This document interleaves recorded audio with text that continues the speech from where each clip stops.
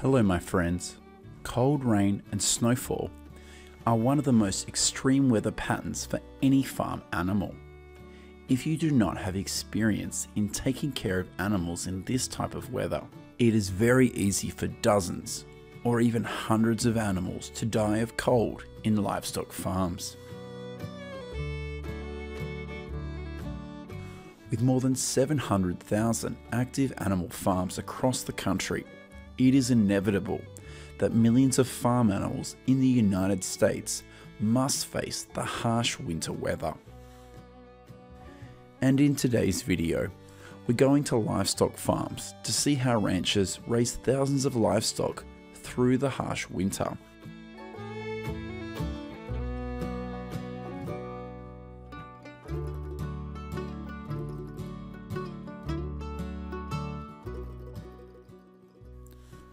We are currently on a cattle ranch in eastern Colorado that is home to about 170 cattle and calves. At this farm, even two week old calves are herded into the pasture when the outdoor temperature is only about 17 degrees Fahrenheit.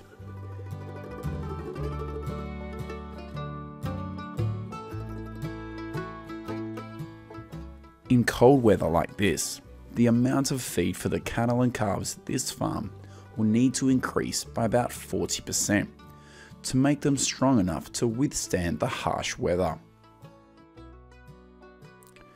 For farms that don't have a lot of land to graze, silage is almost the best choice to help the herd get through the winter. When the ambient temperature drops below 20 degrees Fahrenheit, an adult cow on this farm needs to eat about 90 pounds of silage instead of the usual 55 pounds. This is a cattle ranch in Custer County, Nebraska, home to about 380 cattle and calves. At about 9am each day, hundreds of cattle here will be herded to the cornfields next to the farm to feed, and the outdoor temperature is now about 23 degrees Fahrenheit. Cattle that are in poor health and have thin coats often feel stressed when a field temperature drops below 15 degrees Fahrenheit. When subjected to cold stress, cattle often change behaviour, such as seeking shelter to avoid cold. With good body condition, dry coat, fresh water, and good nutrition, the cattle here can completely withstand temperatures below 0 degrees Fahrenheit. Very well.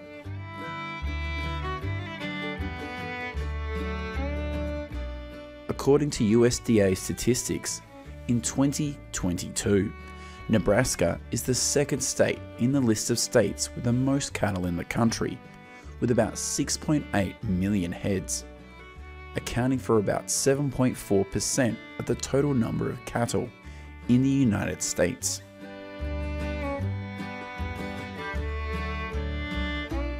In winter, a thick layer of snow covers the entire pasture area of this farm, and the food used for the hundreds of cattle here is hay and straw. The quality of meat from cattle raised under these cold conditions is always appreciated and costs about 20% more than cattle living in warm climates. This is a herd of about 35 cattle in Fergus County, Montana. Due to being raised in small numbers and without a barn system, all cattle here are grazed on pasture for 12 months of the year. During the snowy season, hay and straw will also be used to feed dozens of livestock. These cattle are only protected by a simple fence system and have no roof at all. In recent years, the number of cattle in Montana has always remained between 2.5 and 2.7 million heads. This is also the third state in the list of states with the largest cattle per capita in the United States, with about three cattle per person in the state.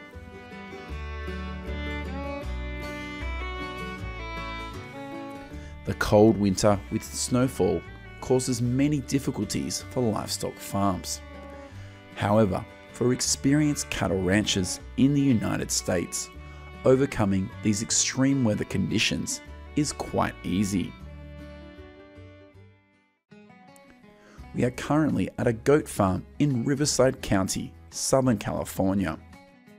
In winter, the amount of natural grass around this farm only meets about 10% of the amount of food that the goats here need to consume.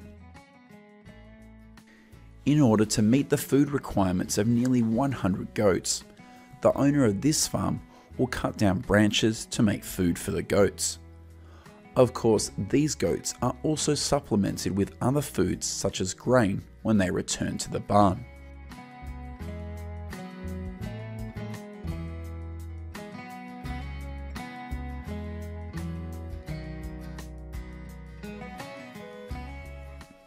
Just like cattle, goats can perfectly adapt to temperatures between 15 and 20 degrees Fahrenheit, provided their food intake is increased by about 30% compared to their normal diet. In addition, keeping the coat dry is very important for the goats to withstand the cold of winter. Goodbye Livestock Farms, we will go to an apple farm in Yakima Valley in Washington state to see how the process of harvesting thousands of tons of apples here takes place during the snowy season. November to December is the time when it snows heavily and covers the apple farms of Yakima. This causes great damage to apple growers and apple harvest workers. The process of picking billions of apples is done when the snow melts, and by then, about 35% of the apples are spoiled. Most of the apples on this farm, after picking, will be sent to apple cider or apple cider vinegar factories because their quality is not qualified for sale at farmers markets or supermarkets. In addition to apples, the harvest of corn or soybeans during the snowy season is also common in states with large farming areas such as Iowa or California.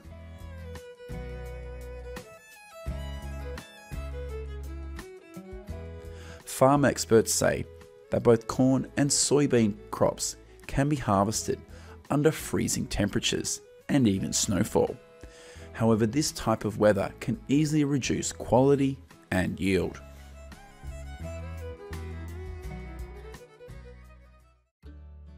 Hello, my friends. Today we are going to the poultry farms in the United States to see how the process of raising millions of poultry takes place in the vast grasslands. Today, chicken is the most commonly raised poultry species in the grasslands of the United States. In addition, duck, turkey, and quail farms also appear quite a lot in the grasslands of some states with large farmlands, such as California, Iowa, Nebraska, Texas, or Minnesota. According to the USDA statistics, by the end of 2021, there are about 813 million poultry in the United States, of which chicken is the largest species, with about 64% of the poultry, followed by turkey with 26 and duck accounting for only 0.04% of the total number of poultry raised in the country. Currently, the majority of poultry in the United States is raised on factory farms, and only 7% of poultry is raised free range on pastures.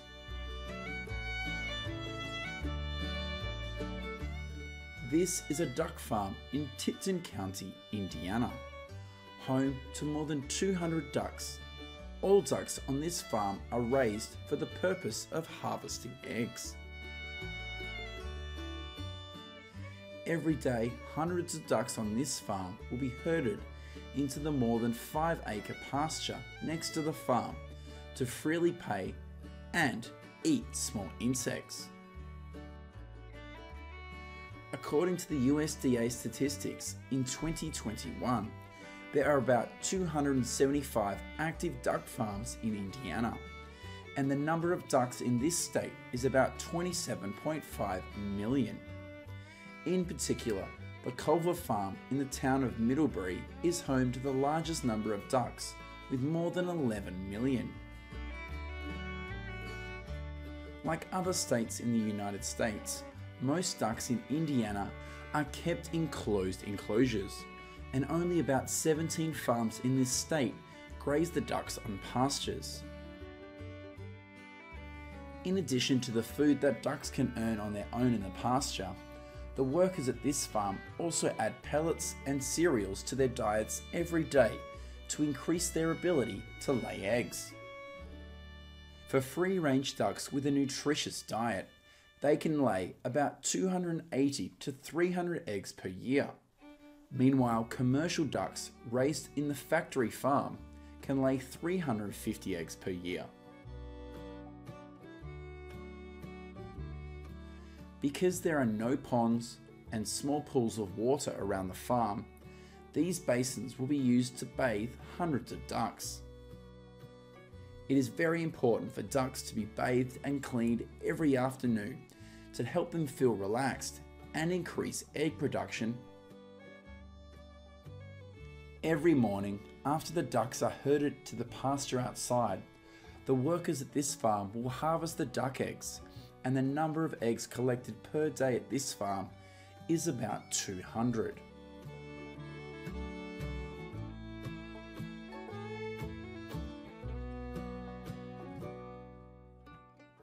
Goodbye Duck Farm in Indiana, we will go to a turkey farm in Minnesota to see how hundreds of turkeys here are raised.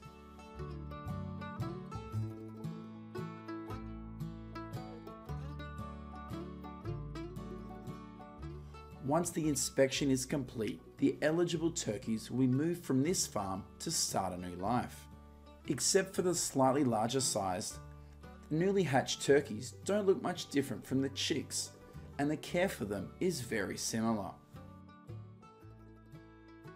These are three week old turkeys, and the hundreds of turkeys here will be kept in cages for two months before they are free to forage in the pasture. Currently, in the United States, there are about 2,500 active turkey farms, and Minnesota is the state with the largest number of turkey farms in the country, with around 667 farms.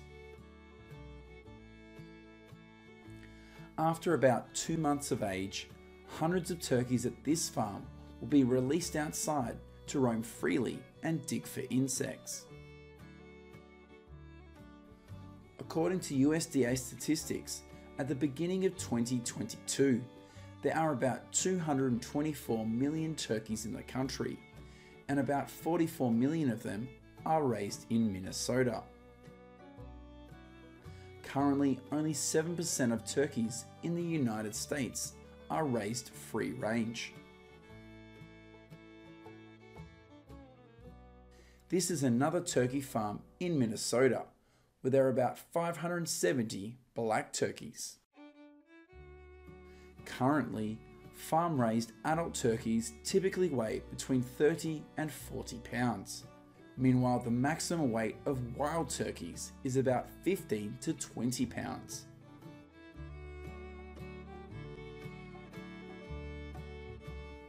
In the late afternoon, hundreds of turkeys will be herded into the barn to rest and avoid predators like foxes or wildcats. This is what happens when the turkeys are eligible for the meat harvest. They are caught by these workers and transported to the turkey processing plant. According to statistics, in 2021, about 46 million turkeys will be slaughtered during Thanksgiving. 22 million at Christmas, and 19 million at Easter in the United States. In addition, every day about 330,000 turkeys are slaughtered across the country. Alexander Hamilton, the first Secretary of the Treasury of the United States, once stated that there is not a citizen of the United States who does not like to eat turkey on Thanksgiving Day. And now this has come true.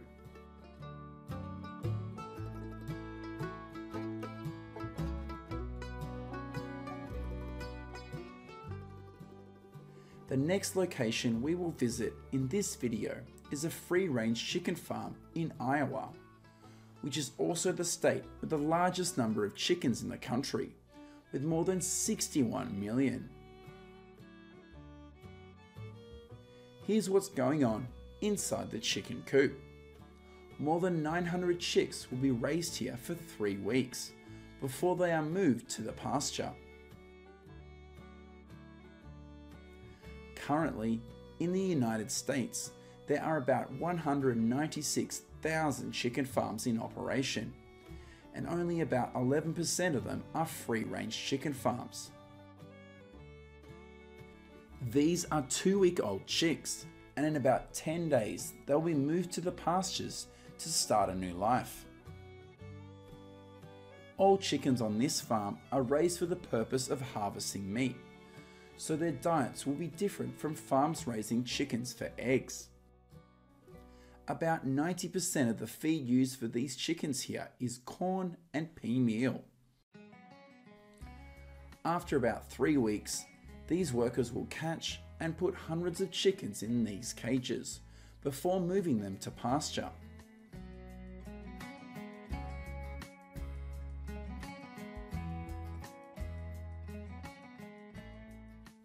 At this pasture, mobile chicken coops have been prepared to welcome the new members.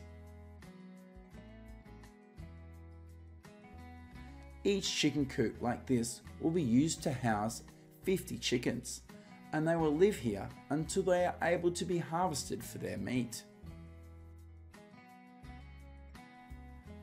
Due to the freedom to move around every day, the meat quality of the chickens on this farm is always preferred over chickens that are kept in cages for life.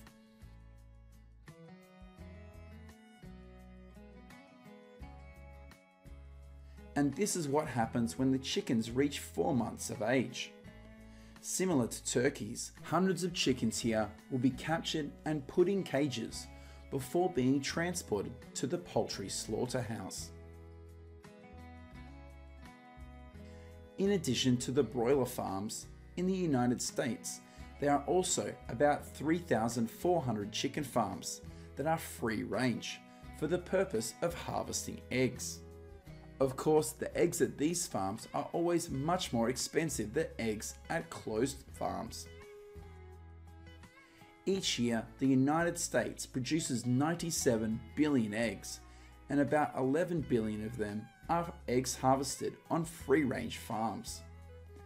It is estimated that each American consumes about 288 eggs per year, and this number is expected to increase to 289 eggs each year by the end of 2023.